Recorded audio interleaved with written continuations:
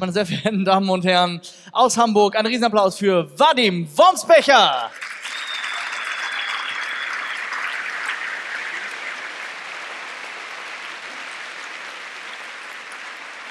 Ja. Hallo allerseits. Kommen wir von der theoretischen Physik mal zu etwas viel Spannenderem, der mathematischen Physik. Und hier auf der ersten Folie seht ihr mathematischen Physiker bei seiner Arbeit. Böse Zungen mögen jetzt behaupten, hey, da steht doch nur vor der Tafel und schaut sie an. Das ist vollkommen unverhältnismäßig, denn naja, die meiste Zeit sitzen wir davor. Ja, und das mag sich jetzt für einige vielleicht wie ein Traumjob anhören, aber ich möchte jetzt eine Anekdote erzählen, die vielleicht auch mal ein bisschen so die Schattenseiten dieses Faches präsentiert. Denn stellt euch vor, ihr seid auf einer Party und naja, üblicherweise lernt man dann einen Menschen kennen. Mit diesem Menschen kommt man ins Gespräch und dann kommt man automatisch an diese Stelle, wo man sich gegenseitig erklärt, was man tut. Als mathematischer Physiker habt ihr jetzt ein verdammtes Problem. Denn erstens, mathematische Physik zu erklären dauert lang und je nach Pegel ist es auch verdammt schwer. Das heißt, dieses Problem braucht eine Lösung. Ja? Meine erste Lösung war es dann zu sagen, ja, mathematische Physik, ich mache nur einen Mix aus Mathe und Physik. Ist erstmal nicht falsch, ne? aber naja, was ich unterschätzt habe, war die Demografie. Denn Mathe und Physik sind so die Fächer aus der Schule, die, wie soll man so schön sagen, am wenigsten schön waren. Insofern haben sie Reaktionen ausgelöst wie diese, diese und natürlich nicht zu vergessen diese. Kurzum, in der Bevölkerung geht diese Meinung um. Das ist nicht gut. Denn in dieser Sekunde wurde mein Fach zum absoluten Super-GAU, was Freunde kennenlernen angeht. Das war nicht gut. Ich brauchte eine neue Lösung. Die zweite Lösung war es einfach zu sagen, hey, ja, ich mache das, was Sheldon macht. Ultimative Lösung. Denn sie ist kurz und knackig und am aller, allerbesten. Niemand interessiert sich dafür, was Sheldon macht. Jackpot. Aber das kann ja nicht die Lösung sein, denn das Problem ist ja, dass niemand weiß, was mathematische Physik ist. Und ja, so bin ich zum Science Slam gekommen. Ich möchte euch die Fähigkeit geben, auf Partys genauso betroffen zu sein und nicht erklären zu können, was ihr eigentlich, wovon ihr etwas wisst. Und wir legen gleich einfach mal los. Mathematische Physik ist in erster Linie eine Wissenschaft. Und Wissenschaften studiert man am allerbesten an Beispielen. Und unser heutiges Beispiel wird meine alte Bachelorarbeit sein. Diese trägt den Titel Fusionsregeln Virasore minimalen Modellen.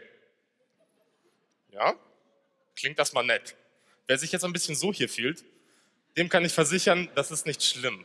Es gibt auch genügend Physiker und Mathematiker, die wirklich nicht wissen, worum es hier geht. Nichtsdestotrotz ist dieses Thema ein perfektes Beispiel für mathematische Physik. Denn hier geht es um etwas, das nennt man Welten bauen, Modell bauen.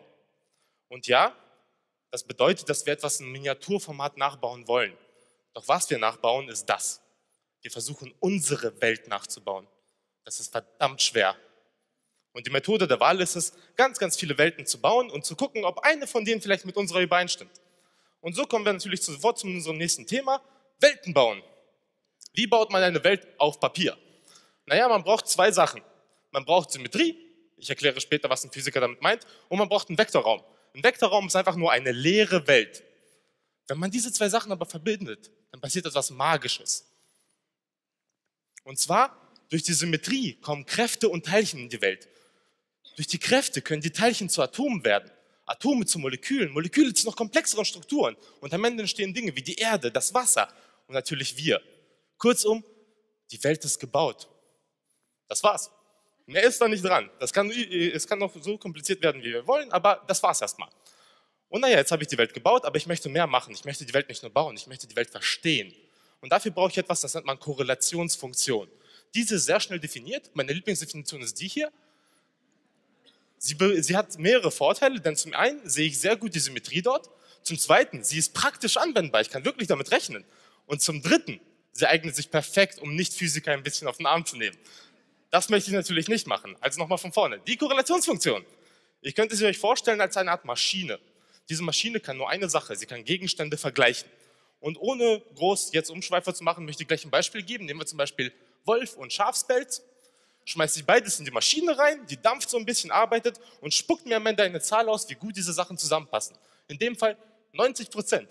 Verdammt gute Zusammenpassung. Das ist, was die Korrelationsfunktion macht. Und ein Mathematiker darf jetzt nicht sagen, was er nicht beweisen kann. Aber hier liegt der Beweis ja offensichtlich auf, auf, da. Das ist der Beweis. Wunderschön, oder? Majestätisch. Kriegt auf jeden Fall ein Like von mir.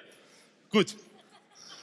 Man kann jetzt aber auch mehrere Sachen in die Korrelationsfunktion packen. Nicht nur zwei, sondern mehrere. Also zum Beispiel drei. Nämlich zum Beispiel Geld haben, ein Zuhause haben und trotzdem auf der Straße schlafen. Schmeißt in die Korrelationsfunktion 80 Prozent. Dieses etwas überraschende Ergebnis wird durch den folgenden Beweis gestärkt. Ja? Das heißt, die Korrelationsfunktion weiß etwas über die Welt, was wir intuitiv nicht so ganz begreifen. Und das Schöne ist, der Physiker sagt jetzt, kennt man alle Kombinationen der Korrelationsfunktion, weiß man, wie gut alle Sachen zusammenpassen, hat man die Welt verstanden. Und mit, diesem, mit dieser Info gehen wir zurück zu meiner Bachelorarbeit. Wir erinnern uns, Fusionsregel wäre so minimal Modell. Wir wollen vielleicht zuerst mal, den Namen auseinandernehmen. Die minimalen Modelle, Virasoro minimalen Modellen, das ist die Welt, die hier gebaut wurde. Und Virasoro ist erstmal einfach nur ein euklidischer Stringtheoretiker. Er hat bedeutende Arbeit geleistet und darf sich hier deswegen verewigen. Und die Fusionsregeln, das ist das Besondere an dieser Welt. Aber bevor wir dazu kommen, wollen wir erstmal die Welt bauen. Und wir erinnern uns, um eine Welt zu bauen, brauchen wir Symmetrie. Und jetzt wird auch klar, was ein Physiker mit Symmetrie meint. Zum Beispiel, um diese Welt zu bauen, brauche ich die sogenannte Verschiebungssymmetrie. Einfach erklärt, ich bewege mich von hier nach hier und sehe genauso aus wie vorher. Ich bin verschiebungssymmetrisch. Das ist eine Symmetrie. Das ist offensichtlich auch Teil unserer Welt, wie wir gesehen haben gerade. Die zweite Symmetrie, die ich brauche, ist die Drehsymmetrie. Ganz einfach. Ich sehe genauso aus wie vorher. Offensichtlich auch Teil unserer Welt. Aber für diese Welt brauchen wir noch eine dritte, die sogenannte Skalensymmetrie. Die erklärt man am besten. Nimmt man diese zwei Hämmer, einen vergrößert man und jetzt verlangt man, dass er genauso aussieht wie vorher. Doch was sehen wir? Der Hammer behält zwar seine Form und seine Farbe, aber er wird größer. Er wird anders. Warum sehen wir das? Weil wir Teil unserer Welt sind. Und in unserer Welt gibt es keine Skalensymmetrie. Das ist nicht Teil unserer Welt. Und kurz zusammengefasst, die Virasoro-minimale Welt ist unsere Welt, nur dass es tatsächlich nicht auf die Größe des Hammers ankommt. Okay. Warum sollte ich aber so eine Welt studieren, wenn sie erstmal mit unserer nichts gemein hat? Naja, in dieser Welt gibt es etwas Besonderes. Ich kann, ich kann in dieser Welt wirklich alle Korrelationsfunktionen ausrechnen. Wir erinnern uns, ich kann diese Welt verstehen. Das ist weiß Gott nicht gegeben.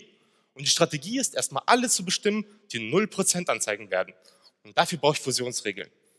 Die funktionieren folgendermaßen. Ich nehme wieder meine Maschine, ich gehe jetzt ein bisschen andersrum mit Argumentation, schmeiße drei Sachen rein und verlange von der Maschine, sie soll nicht 0% anzeigen. Dann nehme ich zwei Sachen, zum Beispiel in dem Fall Stein und Papier, und dann schließe ich meine Augen und nehme irgendwas Drittes rein, schmeiße es rein, irgendwas, was ich nicht kenne, das ominöse X. Und jetzt kann ich die Maschine fragen, Maschine, was habe ich in dich reingeworfen, damit du nicht 0% anzeigst? Ich kann der Maschine sozusagen die Schulaufgabe schlecht hinstellen. Löse mir nach X auf. Und die Maschine wird mir dann in dieser Welt sagen, hey, X hätte nur sein können. Entweder Schere, Brunnen und für die Kinder natürlich Echse und Spock.